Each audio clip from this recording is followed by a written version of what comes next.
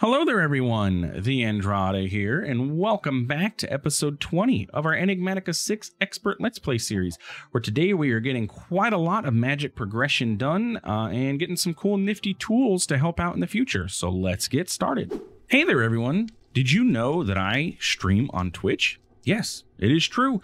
I have started streaming on Twitch Mondays, Wednesdays, and Saturdays. If you want to stop on by, feel free. Just want to let you guys know that we're currently playing through Pokemon Heart Gold Randomized Nuzlocke, and some of you in the comments may have a Pokemon named after you. If you want to check that out, go ahead and uh, you can check out the VODs, or if you search YouTube for The Andrata Live, I do cross post my uh, Twitch VODs over here on YouTube for those who prefer this platform, or you can stop on by live and get, you, get your Pokemon named after you, you know, in person or well as in person as it can be. Um, but yeah twitch.tv slash the andrata hope to see you there. Welcome back everybody to another glorious day here in the world of the andrata in enigmatica 6 uh, a couple things i want to touch on first. Uh, if you grow this papyrus in your base this stuff grows insanely quick. Just saying.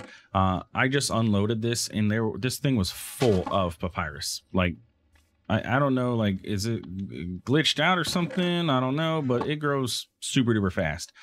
Went ahead and planted all of our uh, Ars Nouveau trees back here, plus our Sky Slime or our Green Heart Slime back there. Probably could plant the Sky Slime too if needed. Uh, we'll just leave it alone as is for now. I went ahead and set up the crystallizer. I did this actually last episode, uh, in which we had this set up. I don't know if anybody uh, noticed because I didn't didn't say anything about it. But what I want to do is go ahead and grab a hopper for it because apparently it outputs to the inventory or it is an auto output. Makes sense. But uh, yeah, the crystallizer, it was just uh, this recipe here just required some of that arc that yeah, arcane gold is what it's called. So not too difficult to make. And this is kind of our de facto Ars Nouveau area. So I'm just setting it up over here onto this barrel and then it can just keep producing these source gems uh, over time for us. So there you go. You're just going to produce source gems, dump them into this barrel, and we're good to go with that. Our bees have been doing great. Uh, our Oreo bee is a little slow, but he is alone, so you know he's the only one around, so we can't really do much with him. But I'm not going to complain too much about that. He's doing the best, okay? Uh, so today, what we need to work on again is continuing with our magic. So I think what I want to do, we're going to go ahead and head into the Undergarden, and we're going to go ahead and set up our blood altar. Uh, and get that going. So I have an idea for how we can get a lot of life essence with one of our spawners that we have because we do have cardboard box uh maybe over here with a spawner in it yes.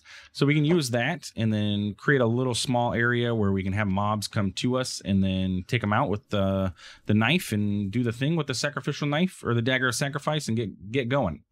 So i like that idea uh, so the blood altar is going to require all of this stuff, which is a, a, cooking pot. I believe I have everything I need for this. There goes one of our conduits. Gone, gone, gone. And then we're going to need two uh, gold inlays, which I have one. Uh, conveniently, I have one exactly. Uh, and then we're going to need some other stone, which is going to be arcane stone thrown into our fire. I do have some arcane stone as well. We're going to need two of these. We're going to pop over here to our occultism area and throw that in there. It should be pretty quick. Bam, other stone crafted. And we can just quickly come back home. Uh, so that is that. Heart of the Sea, we might have one. Oh, the cooking pot there. No. So we do need to craft up a Heart of the Sea. Remind me what that is. That is an algal lantern. Do I have the algal bricks? No. Why would I? So I need algal blend. Um, let's grab like, we'll grab a healthy amount of it, I guess. Half a stack. Yeah. And then we'll just put the rest of this stuff back away where it belongs. Uh, did I have any in here? No. And we can just accelerate that a bit. And by a bit, I mean quite a bit. We have eight hours of time available to us. It's not that big of a deal. Uh, you made up the seared bricks. I forgot we were going to get into Tinker's Construct. Turns out we don't actually need to. Uh, we can make the um,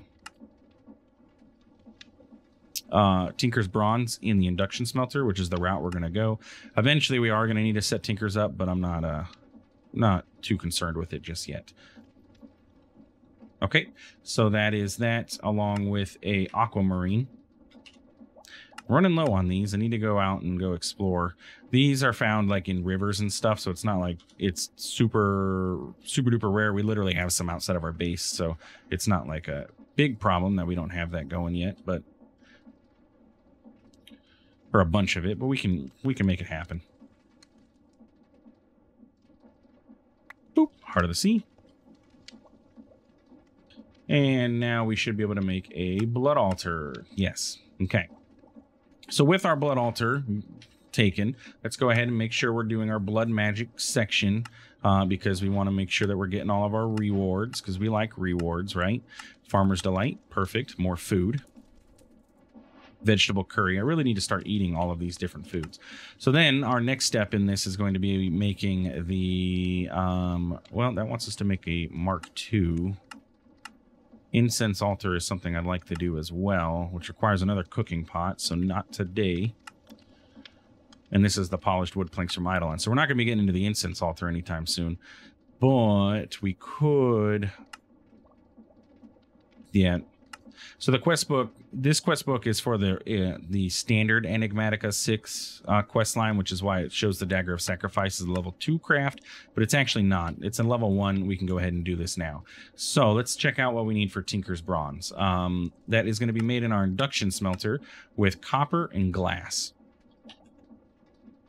And it is a what? Three to one gets us three, and we only need two, so we just need three of you and then some glass, regular glass if I have any.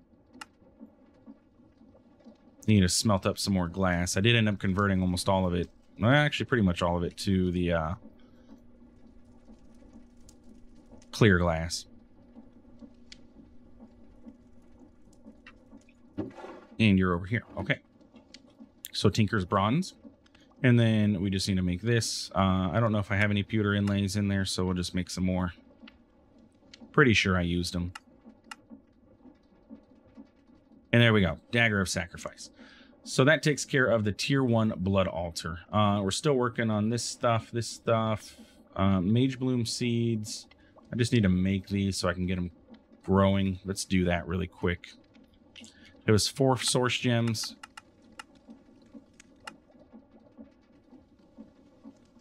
And then any kind of any kind of seed, which we're gonna have seeds out here, so that's fine. I just want to get these made so that uh, we can plant them and start getting more because we're going to need them in the future. Especially if we want to get any of Ars Nouveau's armor and stuff, which would be nice when I'm like exploring and flying so that I can get my mana back quicker. And it doesn't require any source for this craft, so. Bam. Uh, excuse me? Where did it go? Anybody? Bueller? There we go. Uh, and actually, if we go to the Ars Nouveau section, I did craft the crystallizer, so I should be able to actually pick up my agronomic source link here. This one is full, by the way. And complete that quest, too. Oh, that was not what I wanted to do. I wanted to put you down.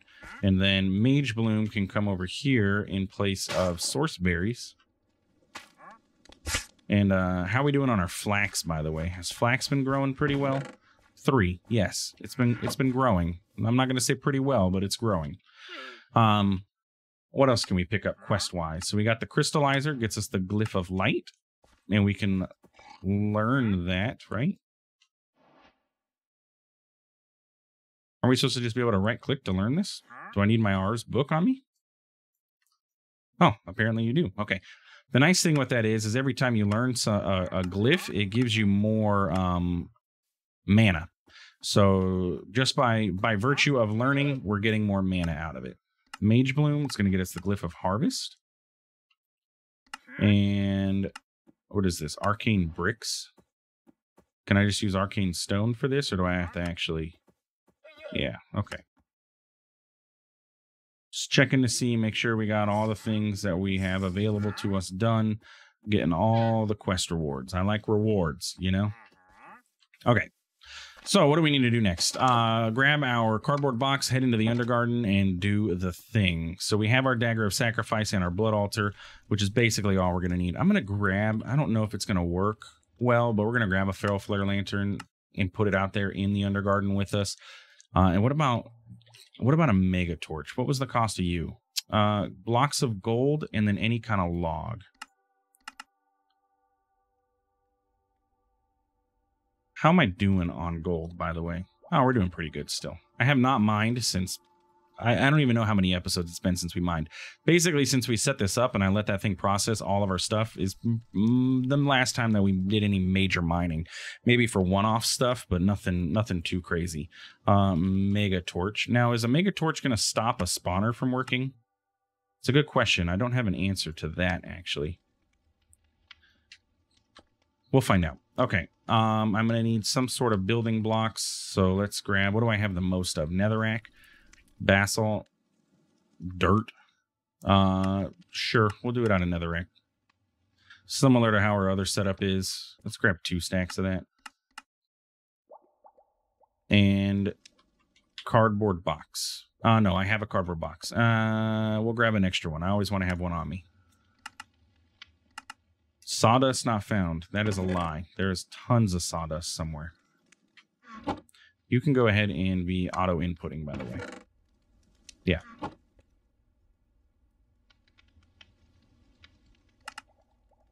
I don't know why I clicked request again.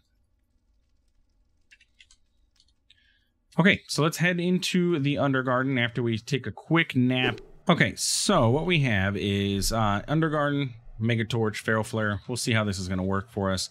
Um, but I've placed my Blood Altar down, and then I've just built this simple just box out of the netherrack here put our cardboard box. I have some water here. These did turn into source blocks back there. I'm not concerned about it because the enemies are going to get aggroed towards me.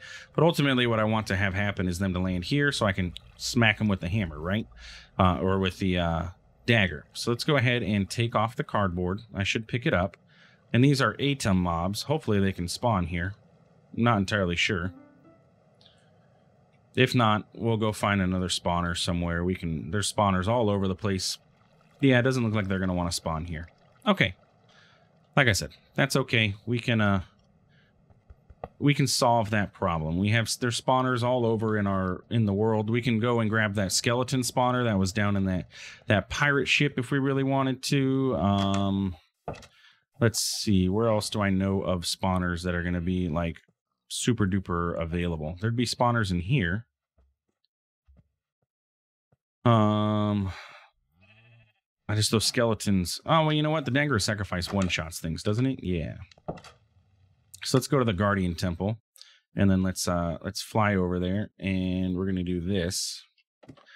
Uh, you know what? I actually need to go home. I need to bring a milk with me because I'm not gonna be able to do anything if. And actually, don't we need like three buckets of milk? I'm not gonna be able to break the spawner after I place it if I can't mine. And we're not going to be able to mine because we're going to get mining fatigue. And hopefully it'll work. Hopefully they'll be able to spawn over there. I don't know. Maybe they're set. They can't spawn in the uh, Undergarden. Highly possible. Who knows? Let's waste some more experience.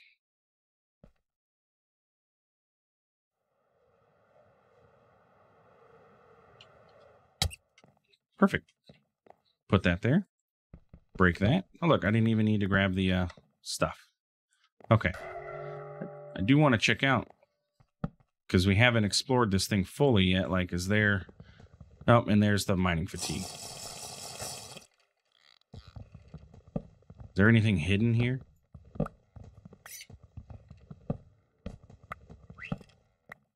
Oh, there's a spawner. And this is spawning those guys. Okay. We already have a spawner. I don't need a second one. Nothing secret here, at least. Jump up, buddy. What is going on here? It's because I broke too many things and it's all it's all funky. There we go.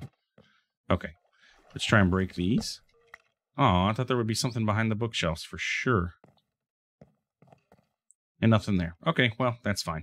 Just go ahead and on home. Put the junk that we grabbed away. Uh, cardboard, you go into my backpack. You can go away. You can go away. You have a spawner in you. All right, there we go. So skeletons can spawn in here, and it figures they would get stuck where I don't want them to, but that's okay. We can just look at that. Already filling up. Silverfish, you can die too. Come on, guys. Eventually, we can set up some better structure for this. I don't know what the uh, limit is for where these things can spawn.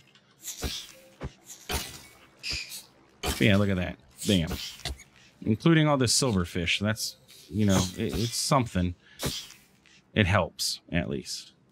So this thing spawns skeletons and silverfish, apparently. Come on over, guys. Need some sort of better mob mover. Fans or something. Create fans would work. We can set up some encased fans, I guess.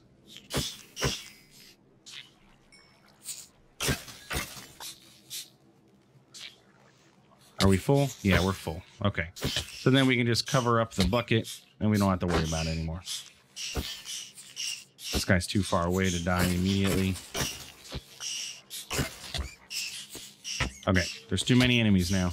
I need to I need to break it. I need to get a the cardboard box on there. Nope. Oh, now I just cardboard boxed the nether rack. That. There we go. Jeez. Shut off. Alright, get out of here. All you nasty silverfish. Get out of my world. Nobody wants to see you. I would pick up the one spawner that has the silverfish, you know? That's okay, though. We're making it work. We're making it work. That's it? Okay, cool. So, there we go. We have full blood in our blood altar, and we can actually start crafting. So the first thing that I want to do is go ahead and throw our unholy sign in there and get ourselves a blood orb. So let's do that and it's going to do its craft. I think that costs like 2,000 blood magic stuffs. Life essence is what it's called. Um, but we should be able to uh, go back up here to these quests. And our next step is Blood Orb and Unholy Symbol. Apparently, the dependency on this is the magic workbench, though. So getting this now is not going to do too much for us. We can tick accelerate it. And oh, it was 7,000. Okay. But there we go. We have a weak blood orb. We can bind it to us and we're good to go. Quest completed. Weak blood orb. And we get a charm of regeneration out of that. Now, this thing does have durability, but when we turn it on, it gives us regen 2 as needed. So we can use that when, uh, you know, the, the going gets tough, the tough get going. Okay, so with that being done, we can now work on um, other stuff. We can get into the magic workbench, I guess. We're just progressing through. Um, I do need another conduit for this, but we have one more. Let's go take a look. Our biggest uh, limiter is going to be this red carpet because I don't think that we've gotten enough of this stuff, enough flax to get the linen thread. So let's go back home. We have blood magic set up. Uh, our blood altar is almost empty, but we can. You saw how easy it was to fill up. I just got to turn that spawner back on, give it a little bit of tick accelerating. Dagger sacrifice works great for it. It one shots every enemy that's within range because of the way that it works. And we're getting uh, bones and arrows out of it too. Um, blood orb, you can go into my inventory. I probably should have just left that sitting in there to absorb the essence. Um, but I need to go Actually, I need bone meal. We're going to accelerate this flax. So let's get some bone blocks. And what's the best way to convert you? So I know I can craft you down into nine. Can you be pulverized? No. So just crafting is going to be the best way. Let's get a bunch of flax. Let's check out this papyrus. Look at that. Look how crazy that papyrus is. I probably should just stop growing it. I really don't know what's going on. The the backflow of that is driving me nuts. Uh flax.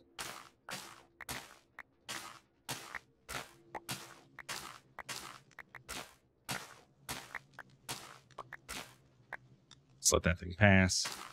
Just in case it messes something up. I don't know. Okay. So we got 18 flax plus four. Is that going to be enough? Who knows? We'll find out. So what do we need to do? We need a total of two of these, right? We need two of these to make the uh, carpet. Right? Because this just counts as wool, but it's not wool. So we need these linen threads, which is just some sticks and flax. So we can do this. We should be able to request two of these. It's going to get us 16. Don't I need 24 of these if I remember correctly? Can I request another one? Still missing flax. All right. If I'm remembering correctly, when I initially planned all this out, we needed 24 of these. Because you are going to make uh, this stuff? No, you're going to make bolts of linen cloth. Yeah, so there's one. So I need some more of these. Three more of these, which means we're going to need a little bit more flax. Okay, uh, well, we got more flax seeds. I'm going to go ahead and go bone meal up a bunch of this and get some more flax. Okay, there we go. White linen turned into carpet. White linen carpet. And then we should just need some red dye. Uh, red dye. We can turn this into red linen carpet, right? Yeah, but it's one and one. Uh, so let's get some. Don't I have rose bush? Yeah, let's plant rose bushes out there. That way we have unlimited red dye as needed. Just need to get some bone meal. Uh, and I can probably actually take down these berry bushes now because I'm not really utilizing them. I need to get the uh, that guy grown again too. Uh, let me get some bone meal.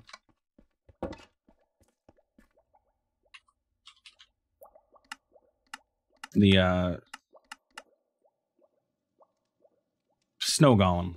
The information has been provided to me on how to actually grow the snow golem properly. So, but again, we live near a snow biome, so it's not terribly too detrimental to us at the moment, but it will be in the future. We'll need some snow.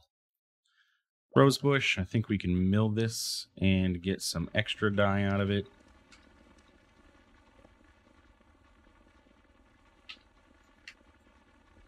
A green dye. Nice. Cool. Yeah, 46 red dye. I'll take it. So we're going to do this and this. She's going to get us two of those. You guys go over there. And a green dye. And red dye. We are slowly starting to run out of room. I think we're filled up in this chest. So we're slowly working our way this way. So I'm going to either have to add another row of chests or we'll figure some other solution out here soon. But that gets us the red linen carpet, which means we can get the magic workbench now with our last uh, conduit that we have. Uh, I need the pewter inlays. So we need two of these. Uh, not two sets, I meant just two. And then we're going to need this vexing archwood wood, which is just going to be some of our vexing wood just crafted up in a 4x4, and that only gets us three. So we lose one. That's okay uh, and the red linen carpet. And this is our last conduit. So uh, in between episodes, I'm going to go and get more Nautilus shells. Uh, for the conduits, we have Heart of the Seas craftable Nautilus shells. It, it's just these. So I'll go and get more shells off around the beach like we did before and then uh, go from there. Now, the magic workbench, can this be put anywhere or does this have to be used in a specific biome or a specific area? It doesn't seem to be the case so now I should be able to get my blood orb out. And I had an extra unholy sign, and that'll complete that quest. There we go. Bam. So then our next step is to get into the alchemy table, which is stone altars from Eidolon, tinted jar, blank slate, protective fabric, just going to require some rubber. So we're going to have to get into the latex portion of things back in the tech side, which we haven't done. So we're back heading back over to tech side. So this is where we're going to cap out. So our next goals are to go into this side of things and get this going. So we need to figure out where the heck we're going to get these worms, but we also need to get the Nebu drops. Um, so yeah, basically we're we're at the point where we need the scanner, which means we need this stuff. And I have the spider eyes. I have that block of source gems. Easy peasy. We have magic clay.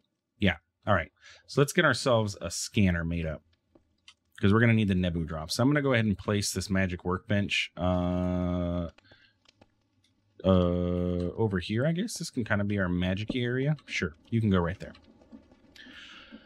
Okay. We're getting there. We're, we're doing a lot of things and it may seem like I'm I'm like running around a lot, but we're getting a lot of things done, which is which is what I want to want to happen. We're getting we're we're making progress quickly through these uh, different magic mods, which is allowing us to set up the infrastructure going forward. Because the magic workbench, uh, we're gonna actually need two of these, so we're gonna end up having to craft another one um, in order to get into astral sorcery. But this is what allows us to do all the crafting in um, Eidolon. So if we want to make this gravity belt, we're going to need to use the magic workbench. And when we get to the prestigious palm, we're going to need to use this. Um, this is going to require Botania, which we could actually probably make. We can make pretty much everything of this now if I wanted to use that shadow gem. Still haven't decided. I do love the prestigious palm though. The plus four reach distance is fantastic. Um, destruction gadget, get off my inventory again. Okay, so what we're to do is go ahead and make this scanner, and we need to see how this works. Aluminum plates, we have Sky Slime Crystal is just a piece of Sky Slime. Smelt it up. So let me grab one of these. Let's clear this thing out. You can go there. And then you can go there, and it is smelted or blasted specifically. It is blasted. Okay, so we don't have a blast furnace. Oh, we do. Okay. I still have this guy set up. Can I get over to it? And some coal. Blast up.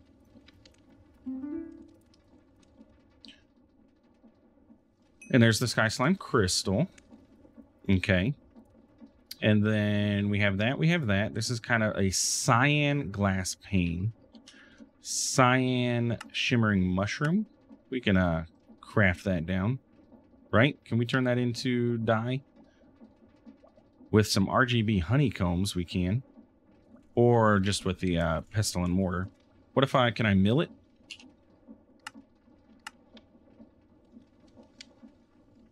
Mill? Yeah, we can. It is our only one. That's okay, though. We'll get the other flavors later. And by other flavors, I mean like all the other dyes and stuff. Okay, so that is glass panes. Cyan dye. There we go. Didn't mean to do that again, but that's okay. All right, so that takes care of that. We need copper rods. Uh, do I have copper rods available to me? I don't have the hammer. We have the hammer here. Tell me you don't want specific NBT data? You do. Just request those then. Okay. And everything? Just the Spirit Attuned gem, which is going to be a source gem thrown into the fire outside. Let's just make like 15 of those, or 16 of them. Just bulk craft, that way we have them done, ready to go.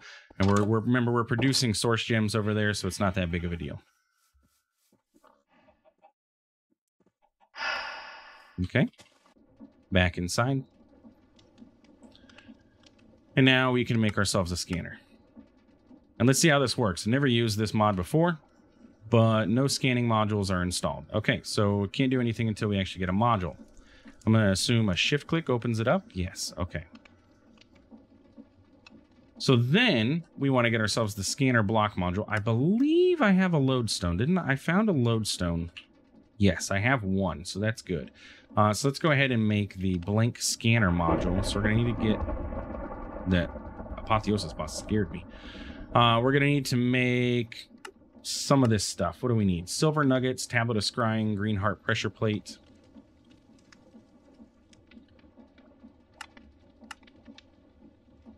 Okay, that's you. And then we can do this. There's the pressure plate done.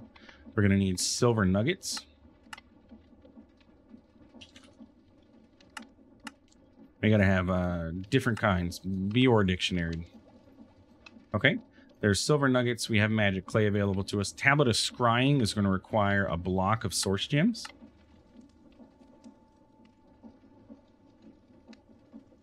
And and glowstone. We don't have actual glowstone crafted up. We just have the dust. And that should be good to go. And then what else? Everything's good. All right. Blank scanner module. And then we can get the lodestone scanner module, which is the block one. So if we put this in here, we can now scan for modules. So if I scan for blocks. So if I were to say want to scan for, I don't know, um, uh, what, what, what do I want to scan for to test this out?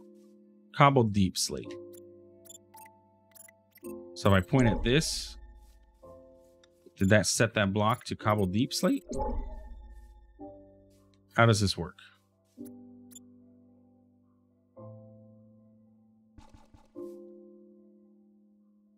Do I need to like craft it with a block?